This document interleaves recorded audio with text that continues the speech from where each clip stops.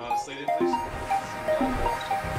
I'm Sydney. I'm a group product manager at AllTrails, overseeing the trail experience team. AllTrails is the world's most trusted and popular app for helping people find their way outside. I work with an amazing group of designers, engineers, and analysts to help bring this experience to life. We offer over 500,000 trails in over 200 countries. Most people know us for hiking, but we actually offer trails that are suitable for biking, running, even paddleboarding. AllTrails started as a website and expanded to the Android Android app. So wearables felt like that next frontier. The first iteration of this app got over a million downloads. And we're actually seeing that Wear OS users show 60% higher monthly retention compared to our other users.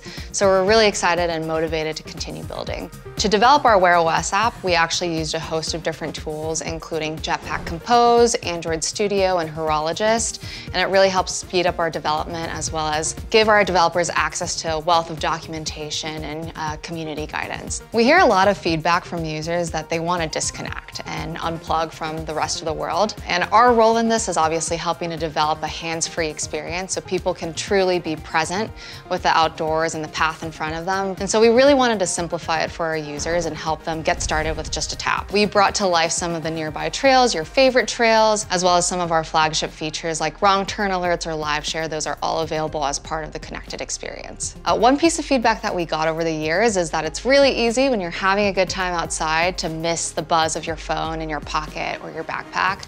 Uh, so one thing that we wanted to do with Wear OS is provide those notifications at your wrist. Uh, so it's really nice to know that you have the peace of mind of venturing outside, especially on new or unfamiliar trails that will always make sure that you're staying on the right course so you can enjoy your time outside. My favorite part of the app is actually a super subtle UI that we offer in the form of a progress ring that fills up as you progress along the trail. It's a really nice way of visually demonstrating your progress without having to uh, fumble with your phone. Some of the things that we're hoping to bring to the next iteration of the Watch app include bringing the map or a compass to life on your watch. Jetpack Compose and some of the other tools that we mentioned are such an easy way to do that, so we're committed to continuing to build an even more awesome AllTrails Wear OS experience.